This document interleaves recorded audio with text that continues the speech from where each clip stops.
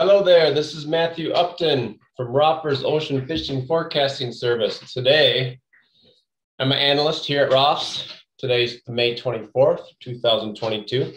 And we're gonna take, we're gonna do another edition of the, showing you guys the overall conditions from satellite imagery, sea surface temperature and ocean color chlorophyll of the southeast United States off the Gulf Stream just to give you an overview to prepare you for this week and what to look for and how the conditions are looking.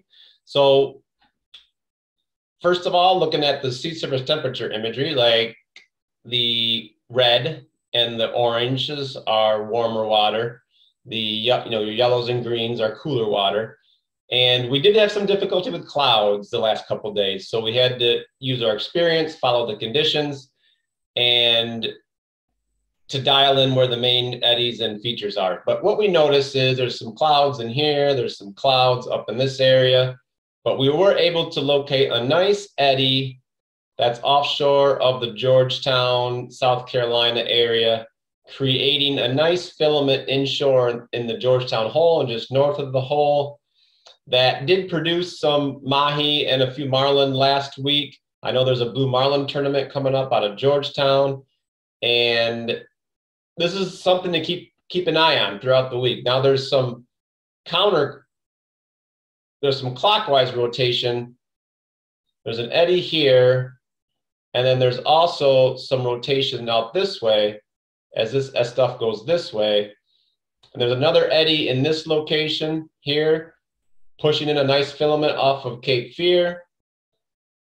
There is a eddy up off of uh, somewhere in here. We, you have to take our word for it. We we located this, this earlier this week. A nice eddy off of Cape Lookout, creating a nice filament inshore off of Cape Lookout. Now, what I also notice is another eddy coming up from off of uh, Georgia and into South Carolina. It's going to have you're going to take a take a closer look at later this week.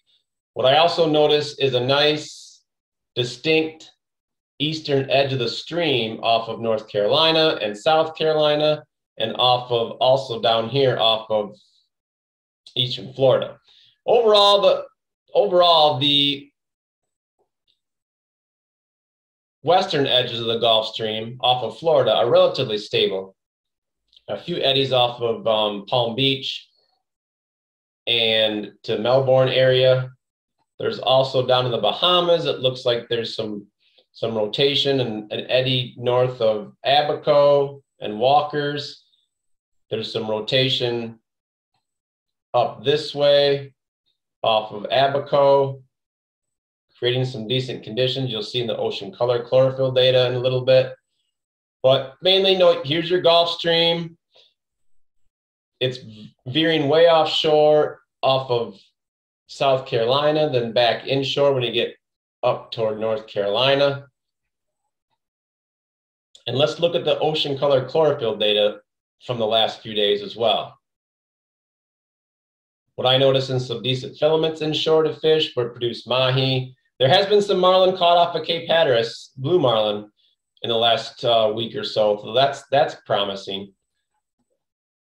What I also notice is some nice darker blue Bahama blue marlin water that looks to be north of Abaco, northeast of Abaco, creating some decent conditions in the canyons perhaps for the weekend. We'll have to keep an eye on that as well. There's some there's some rotation and eddies down off of Cat Island and and Eleuthera as well.